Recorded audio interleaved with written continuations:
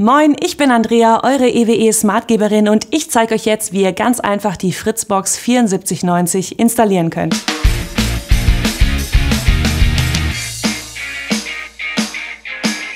Als erstes braucht ihr natürlich eure neue Fritzbox. Und schon kann's losgehen. Wer einen Splitter und einen NTBA an der Telefonbuchse angeschlossen hat, kann diese beiden getrost entfernen, denn die brauchen wir für die neue Fritzbox nicht mehr. Die ganz normale Telefonbuchse oder ein neuer Glasfaseranschluss reicht aus. Wenn ihr noch keine Telefonbuchse habt, meldet euch einmal bei dieser Hotline. Die Buchse wird dann von einem Techniker installiert. Jetzt kommt mein Lieblingspart. Auspacken! Schauen wir mal, was wir alles haben. Hier ist die Bedienungsanleitung. Die ist natürlich super wichtig, um die Fritzbox richtig zu installieren und an die solltet ihr euch auch unbedingt halten. Darunter ist auch schon meine neue Fritzbox. Und hier eine Installations-CD. Die CD braucht ihr nicht, aber auf der Rückseite findet ihr nochmal den Netzwerkschlüssel. Hier auf der rechten Seite ist ein kleines Fach. Mal schauen. Ah ja, das DSL-Telefonkabel sowie das Netzteil. Ganz unten befindet sich noch das gelbe LAN-Kabel. Wir beginnen jetzt mit der Installation. Die Telefonbuchse befindet sich bei mir hier im Wohnzimmer. Viele Haushalte haben ihre Anschlüsse auch im Keller oder im Hauswirtschaftsraum. Schnappt euch als erstes das Netzteil und schließt die Fritzbox an den Strom an.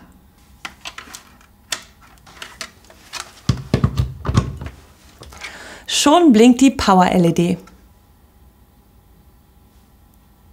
Falls ihr euch wundert, dass die Anschlüsse bei euch ein bisschen anders aussehen, das ist kein Grund zur Sorge, dann habt ihr die Fritzbox 7360.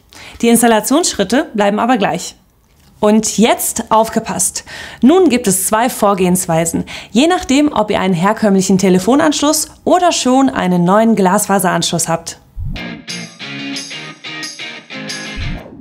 Wie schon erwähnt, braucht ihr für die Fritzbox nur eine Telefonbuchse. Alle alten Kabel könnt ihr getrost ausstöpseln. Wenn ihr eine herkömmliche Telefonbuchse habt, nehmt jetzt das DSL-Kabel. Das Kabel kommt mit diesem Ende in die Fritzbox und zwar in die Buchse DSL Tel.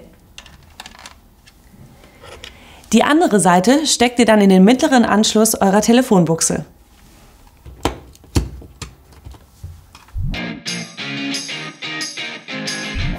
Wenn ihr schon einen Glasfaseranschluss besitzt, mit dieser Box, die vorher ein EWE-Techniker bei euch installiert hat, dann entfällt der letzte Schritt, den ich euch gerade gezeigt habe und ihr braucht das gelbe LAN-Kabel.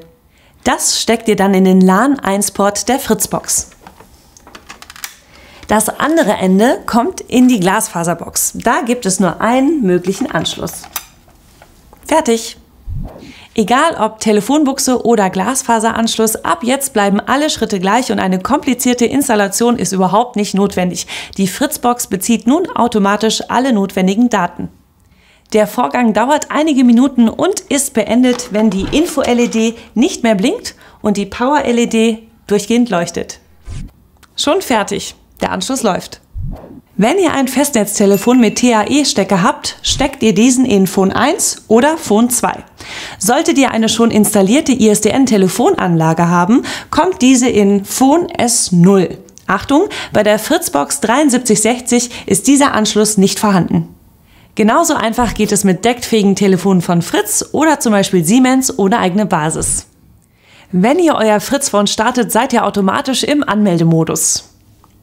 Dann drückt ihr so lange die Decktaste, bis die Info-LED blinkt.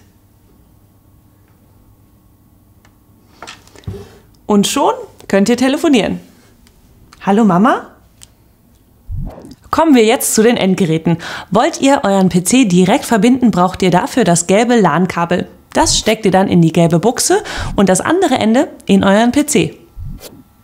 Eure WLAN-fähigen Geräte könnt ihr natürlich auch direkt mit dem Router verbinden. Netzwerkname und WLAN-Schlüssel findet ihr auf der Unterseite des Routers oder auf der Rückseite der mitgelieferten CD. Wenn ihr manuelle Einstellungen vornehmen wollt, steht euch eine Benutzeroberfläche zur Verfügung.